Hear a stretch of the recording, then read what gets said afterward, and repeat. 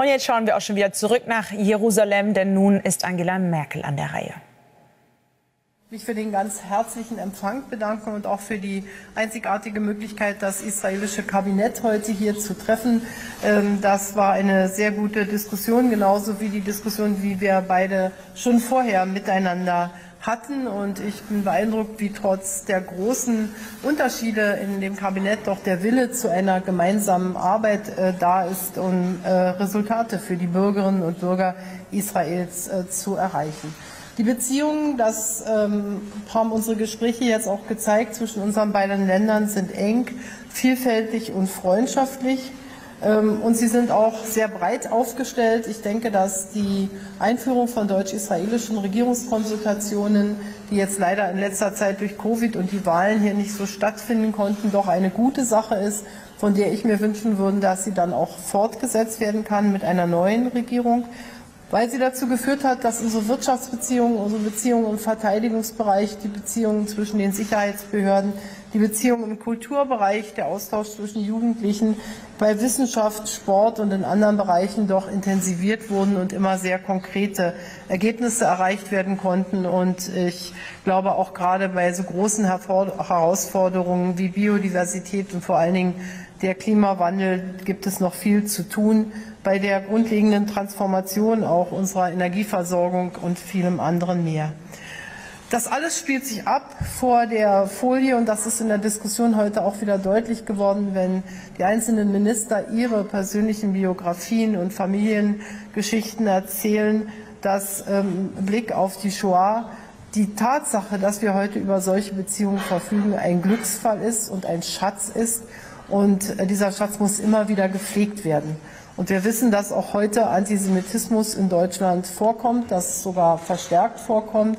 Und ich habe hier noch einmal für die gesamte Bundesregierung, und das darf ich auch für jede weitere sagen, deutlich gemacht, dass wir uns gegen alle äh, Erscheinungsformen des Antisemitismus auch entschieden wehren werden, weil äh, wir alles tun müssen, damit dies ähm, eben nicht zunimmt, sondern damit wir den Antisemitismus und gewalttätige Ausschreitungen leider auch bekämpfen können. Das ist nicht immer einfach und wird nur gelingen, wenn wir auch die Verantwortung für die Geschichte immer wachhalten, auch wenn es eines Tages keine Zeitzeugen mehr geben wird. Und darüber haben wir heute früh auch ausführlich gesprochen. Wir haben die Frage der Sicherheit Israels, ich habe sie auch persönlich immer zu einem zentralen Punkt gemacht. Ich habe, der Ministerpräsident hat noch mal darauf hingewiesen, äh, Deutschland ist nicht neutral, wenn es um die Fragen der Sicherheit Israels geht, sondern die Sicherheit Israels ist Teil unserer Staatsräson und äh, demnach müssen wir auch handeln, selbst wenn wir unterschiedlicher Meinung in verschiedenen Einzelfragen sind. Ich will im Blick auf den Nahostfriedensprozess äh, sagen, dass wir uns natürlich einen jüdischen, demokratischen Staat Israel wünschen, den es ja heute auch gibt, der eine klare, sichere Perspektive in der Region hat. Ich persönlich denke, dass man hier, ähm, auch wenn es zurzeit nahezu aussichtslos aussieht, dass die Idee einer Zwei-Staaten-Lösung nicht vom Tisch nehmen sollte, nicht zu Grabe tragen sollte, sondern eben auch immer im Blick haben sollte, wie können auch die Palästinenser äh, sicher und in einem Staat leben. Aber der zentrale Punkt heißt die Vision eines sicheren, jüdischen, demokratischen Staates Israel. Und ich will das unterstreichen, was der Ministerpräsident gesagt hat. Die ähm, Umgebung hier von Israel ist eben alles andere als demokratisch in vielen Aspekten. Und deshalb müssen wir auch die Bedrohung, die vom Iran ausgeht, ernst nehmen. Deutschland ist wie Israel der Meinung, dass alles getan werden muss, damit eine nukleare Bewaffnung des Iran verhindert wird.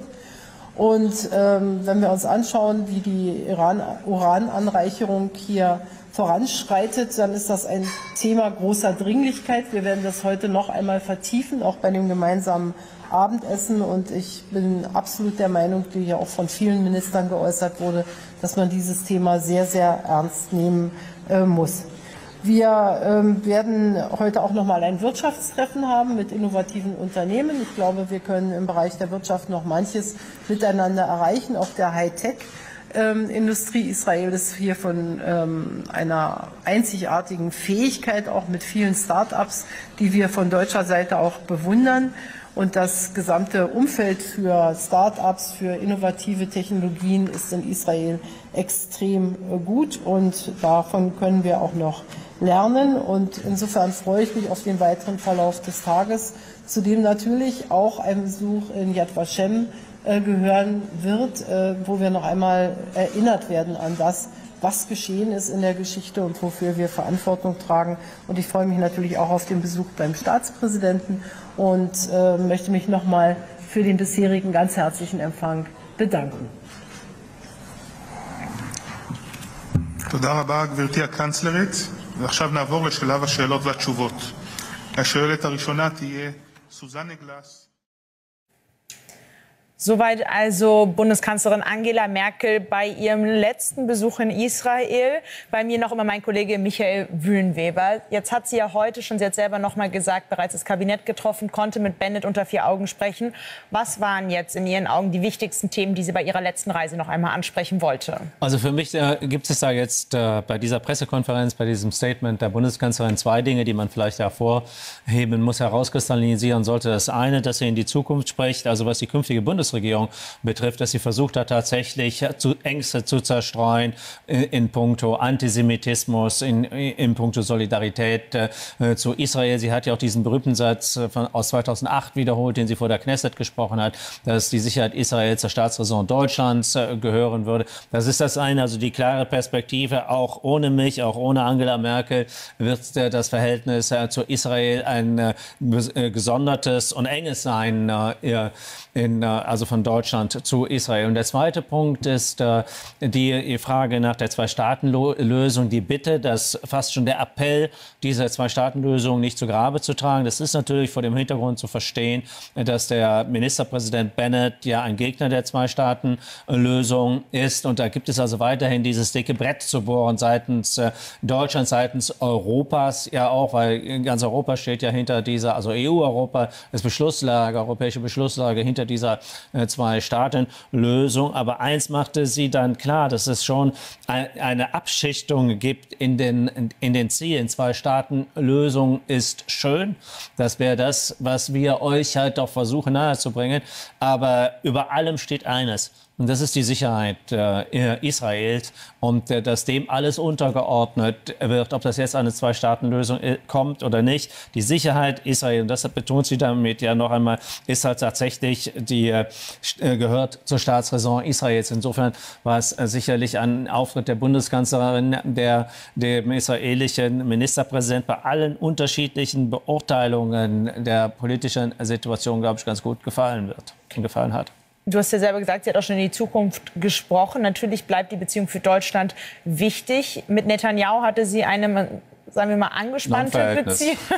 Wie wird es jetzt mit Bennett für Deutschland? Wird es einfacher oder wird es wahrscheinlich schwieriger, mit ihm diese Gespräche aufrechtzuerhalten und eine Beziehung wieder zu bessern auch? Also Bennett äh, bezeichnet sich selbst ja als moderner Ultraorthodoxer. Also er fährt da einen radikalen, äh, konservativen äh, Kurs und steht da im Prinzip auch in der Tradition Netanyahus. Er war ja ein äh, großer äh, Parteigänger Netanyahus, bevor man sich da überworfen hat hatte auch Netanyahu, äh, war gegen die Zwei-Staaten-Lösung, äh, betrieb die Siedlungspolitik äh, weiter. Und jetzt hat man in dieser neuen Konstellation in Israel, in dieser Acht-Parteien-Konstellation, Koalition, einen Burgfrieden eigentlich äh, geschlossen, und zwar den Status quo eingefroren. Man ist gegen die Zwei-Staaten-Lösung und äh, man, äh, wird weiter auch den Siedlungsausbau Bergbau betreiben. Aber man muss natürlich sehen, dass Bennett nur zwei Jahre Ministerpräsident ist. Nach zwei Jahren dreht sich das um. Dann wird der jetzige Minister, äh,